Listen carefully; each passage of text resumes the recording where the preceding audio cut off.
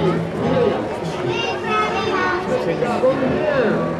yeah, there you go. That's awesome. You know what you can just wear a plastic around your neck and they play one of those.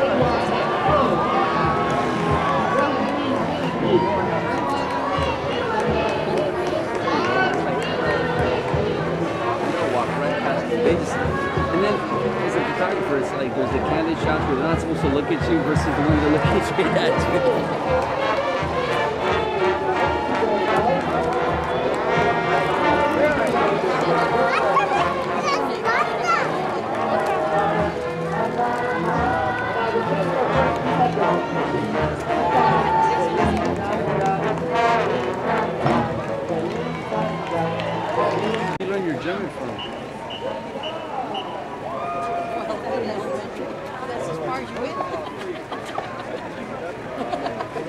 Where did you